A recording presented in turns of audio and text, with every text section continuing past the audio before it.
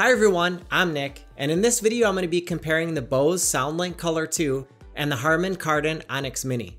These are two of the best sounding compact Bluetooth speakers available in my opinion.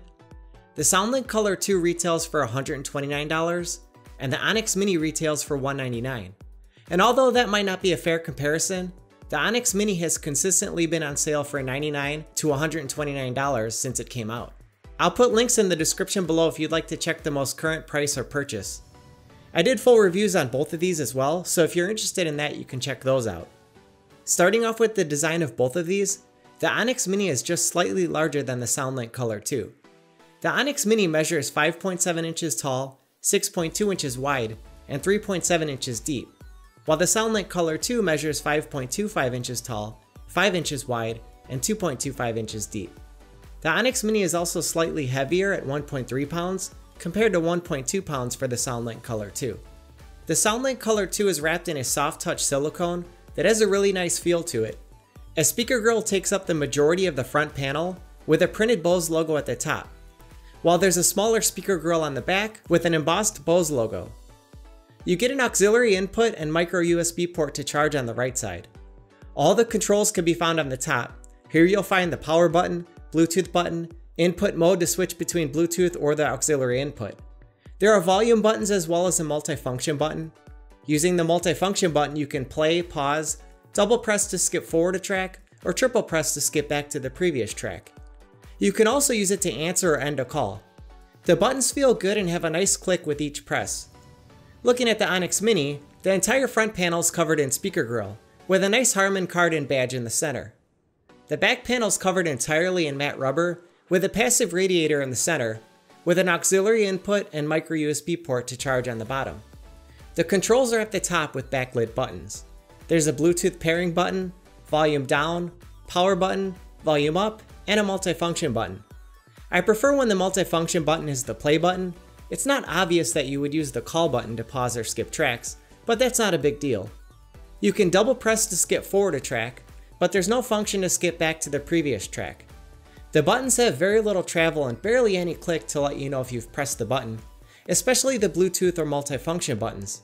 Those seem to have less travel than the top three buttons, but that's a minor issue. Both speakers feel really well made and just feel like quality devices. The big difference between the two of these is that the SoundLink Color 2 is water resistant and the Onyx Mini is not. The SoundLink Color 2 is water resistant, but not waterproof and Bose points out in the manual not to allow liquids to spill into any of the openings. The SoundLink Color 2 has an IPX4 rating, which means that it'll withstand sprays and splashes of water, so it'll be fine in the rain, but it can't be fully submerged in water. I personally think the Onyx Mini has more of a high-end look, and looks better on a bookshelf, while the Bose has more of a fun and durable look. I'd recommend the Bose to anyone looking to throw their speaker in a bag for a day at the beach, while the Onyx Mini is better parked on a shelf or used in the backyard for a party. The Onyx Mini is even a little awkward to pick up with one hand. It's difficult to hold while not pressing in on the passive radiator. The SoundLink Color 2 has NFC for quick pairing, so if you have a compatible device, just a quick tap to the top of the speaker will connect. The Onyx Mini doesn't have NFC, which would have been nice especially given the Onyx's premium price, but pairing is still quick. You can also pair multiple devices at the same time with both speakers, without having to unpair the previous device. You can connect three devices at once with the Onyx Mini and take turns playing music, while you can connect two devices at the same time with the SoundLink Color 2.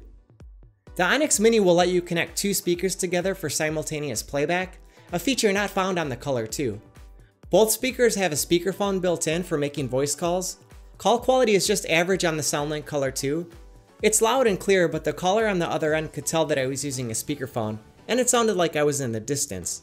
The Onyx Mini on the other hand is better than anything I've tried.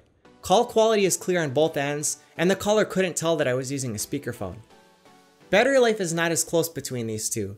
The SoundLink Color 2 is rated at up to 8 hours of playback, and in my testing I was able to get just over 7 hours at 75 to 80% volume. The Onyx Mini is rated at up to 10 hours, but I was able to get over 15 hours of playback at 75 to 80% volume. The Onyx Mini has dual 45mm drivers, powered at 8 watts each, with a passive radiator on the rear that delivers pretty good bass for a speaker this size. Bass is tight and punchy, but can lack impact on tracks with deep bass, especially when you compare this to larger speakers. Bose doesn't specify the size of the drivers or their output, but the front-facing drivers with dual passive radiators do an okay job with bass for a speaker this size. The kick drum hits hard, but it's light on deep bass. When testing bass tones with the Onyx Mini, the bass begins to roll off at around 80 Hz and is gone at around 60. With the SoundLink Color 2, bass rolls off much sharper at 80 Hz and is gone at around 70 Hz. The SoundLink Color 2 sounds smaller and thinner than the Onyx Mini. Bass heavy tracks sound much better on the Onyx Mini. But bass aside though, it's much closer in other aspects. Switching between the two of these speakers is not as noticeable.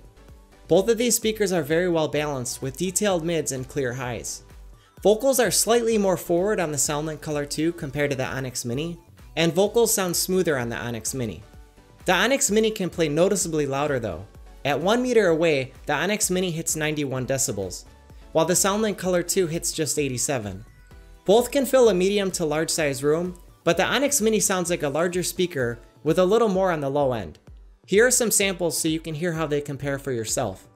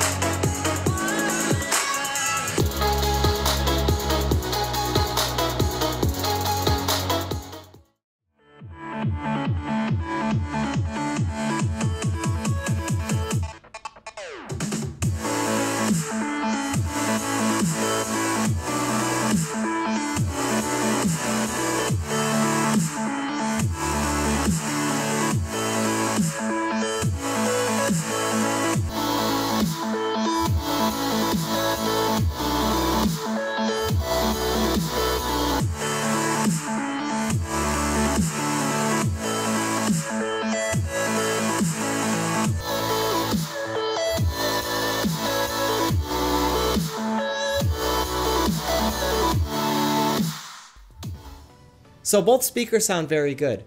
They're both well balanced, but the Onyx Mini performs better overall, with a little more low end and smoother mids than the Bose SoundLink Color 2. If you're looking for a speaker that you can also throw in your bag and not worry if it gets wet, then go with the SoundLink Color 2. But if you're looking for a great sounding, stylish speaker to park on your bookshelf, then I'd recommend the Onyx Mini, especially if it's on sale for the same price or less than the Bose. So let me know what you think in the comments below. Hit the like button if you liked the video, and please subscribe if you'd like to see more videos like this one. Thanks for watching.